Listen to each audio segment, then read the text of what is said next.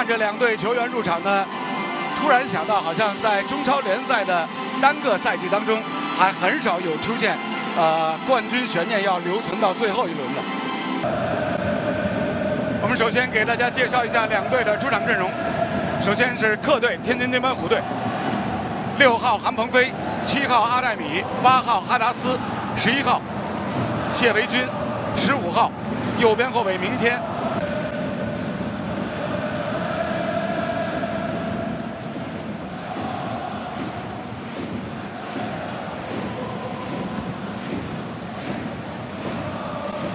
是天津队最主要的得分手，没错，而且他跟阿戴米之间很有默契。对，他们两个人的话，这个组合还是很有威力的。是，今天首发阿戴米，孔帕尼奥坐在板凳上，这是不是于根伟考虑留一个后手？哎哎哎，好了，双方上场的比赛呢已经正式打响。就场上感觉有两个具备十号球员特点和能力的队员。对。角球开起来到前点，哦。呦这球，前点甩头，紧接着后门柱是十八号的齐塔迪尼飞身凌空垫射，而这脚球呢，你看奥斯卡这个点打得真好，前点吴磊的甩头，结果在后门柱，齐塔迪尼悄无声息的抢到对方身前。零距离把球垫进球网，哎，也不往前高位逼抢，后边呢也不是退得非常靠后，那就是中线设第一道防线，在四十米线上第二道防线，对，呃，整个前后间距拉得很近。喂，过顶球打进球里面，啊，这样天津津门虎队在右路形成反击的机会，左脚往禁区里给，谢维军外脚被停球再拨回来。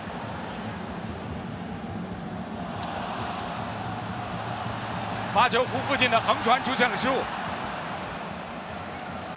来看一下，在禁区里面，谢维军回防的李帅，哎，左脚哎碰到对方的脚外侧，嗯，打到后腰位置接球的傅欢也没接住，所以这个球权给了天津之后，他有了后边这个动作。经过视频助理裁判的介入之后呢，认定并没有点球。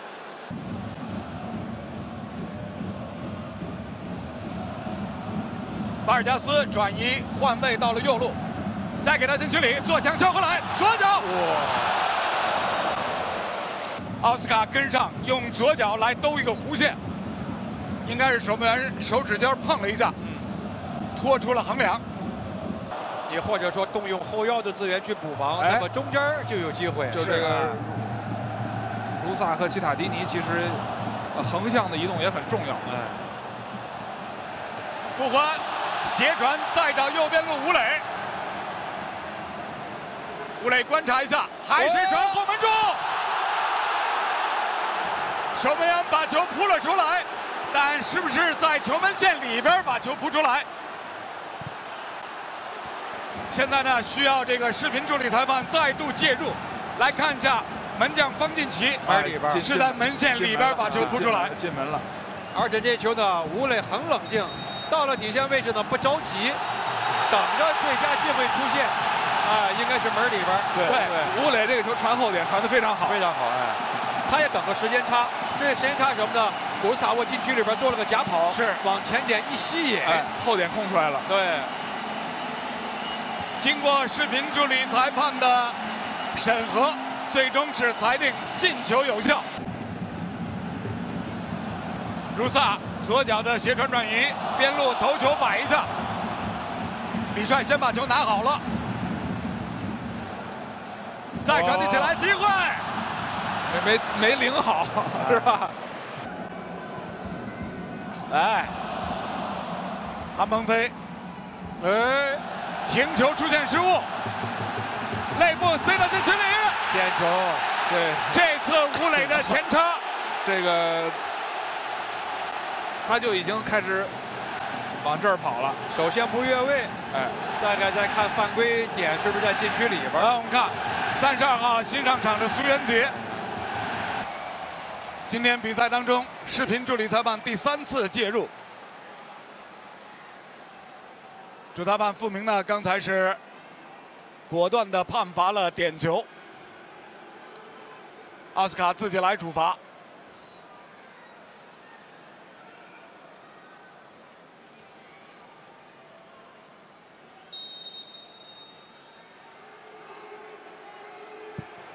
哇，这球啊！他点球本赛季好像没丢过，是全都忙，全都命中了。三比零，比分改写成了三比零。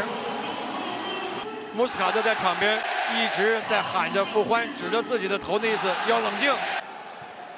之前呢，在足协杯的四分之一决赛里面，当时上海海港是吴磊上演帽子戏法。联赛第一回合，上海海港队客场三比零取胜的是古斯塔沃打进了两个进球。哎，中路好球！再一脚直塞打进局里。哇，这球啊，奥斯卡水平太高了，哎，这是传了个追身球。是，他都看到三步以后，哎，前场高位的拦截逼抢，我们看又是吴磊从对方边后卫和中卫之间斜插到禁区里面，而奥斯卡就像刚刚老黄所提到的，脑后长眼都已经看到他的这个前插的线路。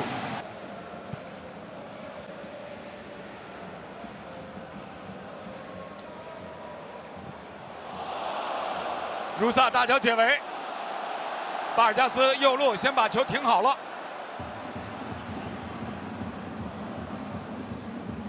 哎呦，看这球啊！上海海港队在上一轮一比零赢沧州雄狮这场嗯比赛之前，好久没有在联赛里边零封过对手了是。啊。好的，这一下，守门，哦哇，严俊林，第一下对方的头球蹭射球速很快，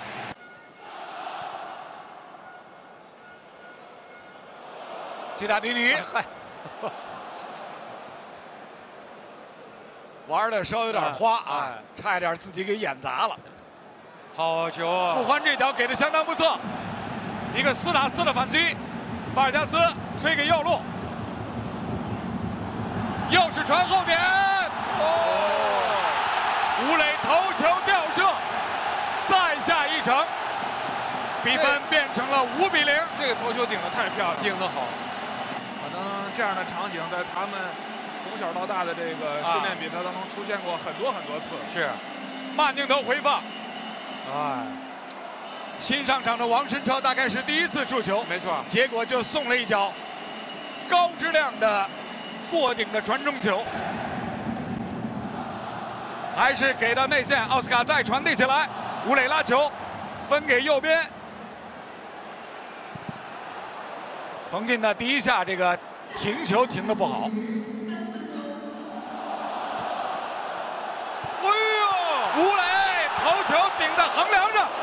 差点帽子戏法，又是他们俩，哎又是王申超传的，哎，对，第一时间啊他没想好，没想好就给奥斯卡。奥斯卡的传中到门前，吕文君后点再传起来。